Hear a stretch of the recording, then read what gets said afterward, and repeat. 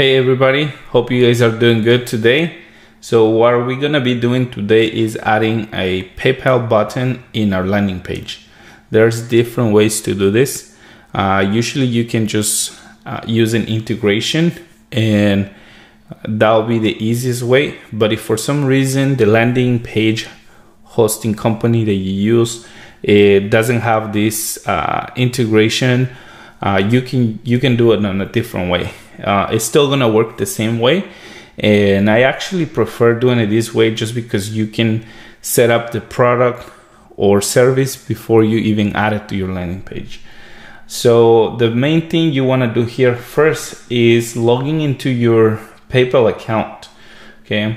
And then you're going to go in this option, which is called pay and get paid. And then you're going to go on the option of accept payments. Okay. So you have a few options, request money, PayPal checkout, subscriptions, and other stuff, right? And then you have PayPal buttons. So you can do either PayPal checkout or PayPal buttons. So we're gonna open one and then we're gonna open the other one and then we're gonna see both of them, okay? So this one you can do like how to add just a button, but if you wanna actually offer a checkout experience, then you can do this one okay? Then you're gonna scroll and in PayPal is gonna show you a few ways on how you can add the checkout which is gonna look something like this right? So that's the first option you have. Then you have the standard integration that's gonna look more like this. And then you have the advanced integration. But on this one I believe you have to apply. So for now we're just gonna use one of these ones right here okay? So then you have this one right here, which is just adding a button. And when you add a button, it's pretty much gonna show the price that you're gonna about to pay, and that's it. It's not gonna show uh, something detailed like this one right here. Okay, so we can start with this one. So the first thing you can say, okay, I want a smart button, and it explains you here what is this for, right? So you want to sell on social media, or you just want to have a buy now button or add to cart button, right?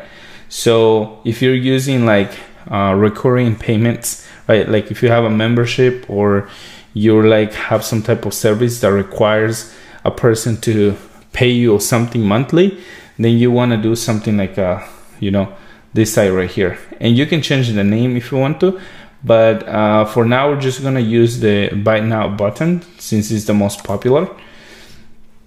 So once you click on it, it's gonna take you to this part okay?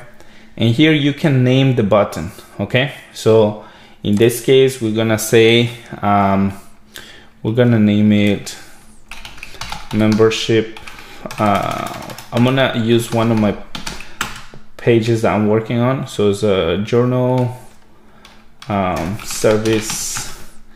And then this is optional as it says right here so you don't have to add it but it's uh, it can be useful if you start adding multiple products. So that's how you can keep track of it. Then I'm gonna say it's gonna be uh sorry. So going back again and okay so it was a journal and then um, service okay the ID, like I say, is something optional, but you can add it if you're adding multiple products so you can have a better tracking of what you're doing. Uh, on this one, I'm planning to charge $90, right? Here I can select the type of button, right? And as you do it, it's gonna show you, you know, if you have multiple different products, uh, if you wanna do a drop down menu, right? And then if you wanna add a text field, like for example, I say, uh, journal service and then just click done and it's gonna add it up here. So you can customize it. Then uh, if you have some shipping you can add it here. And then if you want to add taxes you can add it right here. And then uh, you can select how do you want to use this right? So you want to use a secure uh, merchant account ID if you have one or you can use your primary email address. Now, what I would recommend is to use the first one because it's more secure.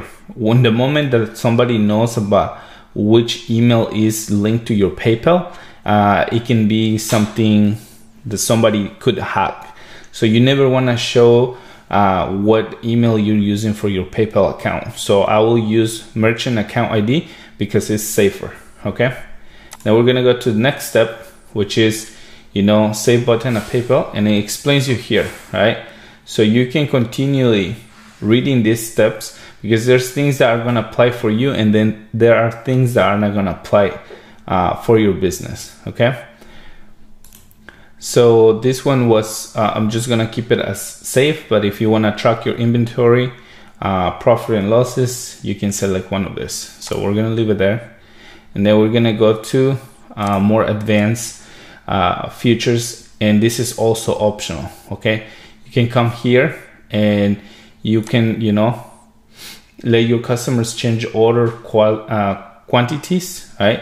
So for example, in this product that I'm creating right now is only one. So that doesn't apply to me. So that's why I just leave it there. Okay. But like I say, you can come and select the options that, you know, best works for you. And then uh, on this part where it says, do you need customer shipping address? Uh, that's if you're shipping some type of product. In this button that I'm creating, because it's a digital product, I don't need them to do that. So then it says take customers to this URL, URL when they cancel their checkout. Okay. So here, for example, you can, you know, uh, try to save it by creating a page that can be like, hey, don't leave yet. If you purchase today, get this additional 20% or something like that. Right. And then here, take customers to this URL when you finish your checkout. So this is very important and this is where you're gonna you know you add your uh, thank you page or where they're gonna be able to download a product in this case like the one i'm doing because it's a digital product or you're gonna give them a secret link where they can go and you know create an account uh, it's totally up to you uh, this one is very important because you want after they click complete the payment PayPal is gonna send them to this URL. So this can be built inside your landing page. If you have your uh, product page and then you have your thank you page, this is where your thank you page is gonna go. So it's very important, okay? Now, we're just gonna create, uh, create a button. And there you go, okay? So now we have this code right here. So once you select the code, okay? We're gonna go now to our landing page, right?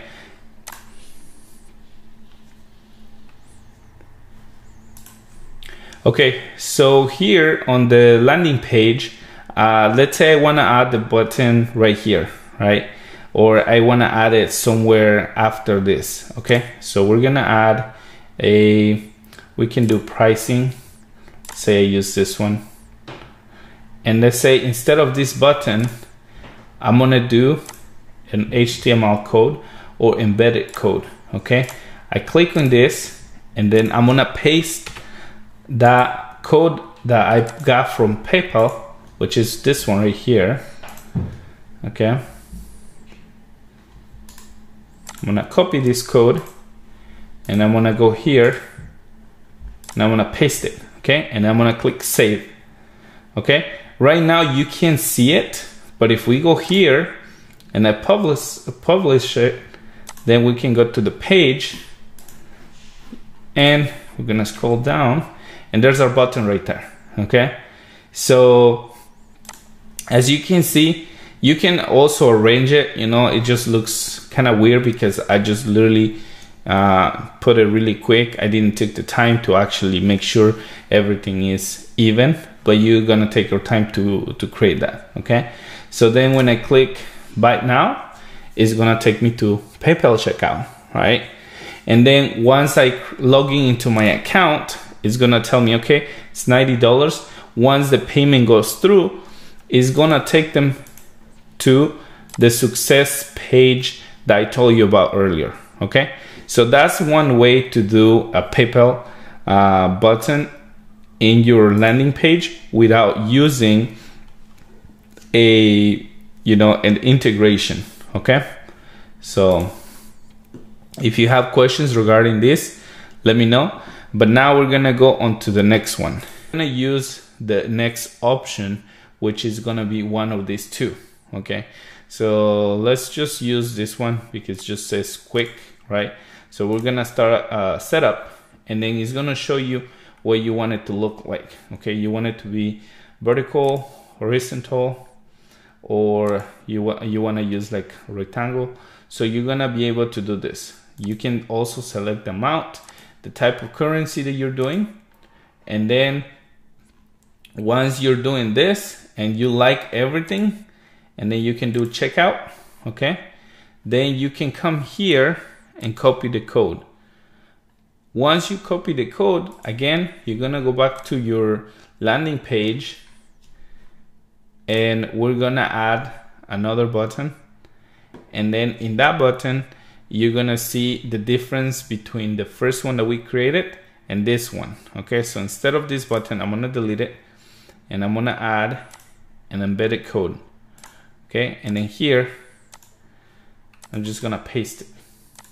Okay, see how the code looks a little different than the other one? We're just gonna click save. It's gonna see this one. See, this one is shorter because it's just for one button. This one has a little bit more uh, customization on it. And then just gotta click publish.